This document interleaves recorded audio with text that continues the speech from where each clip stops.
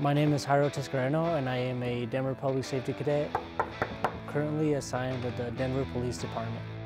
We get to do a lot of the same training that a recruit does. We get to do ride-alongs where we're alongside police officers. Sir, please, we're here to help you. We get to work with the virtual simulator. It's real life scenarios. We're here to help you. Try to de-escalate the situation.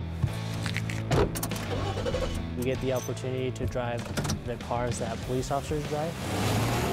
As soon as I step into the car, I feel like my blood pressure, my heart rate going up, driving fast and making quick decisions. It's hard, but it's a lot of fun.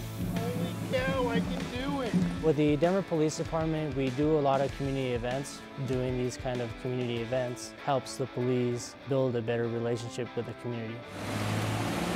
I want to be a first responder because I want to know what to do in the time of crisis and help that person out on their worst day.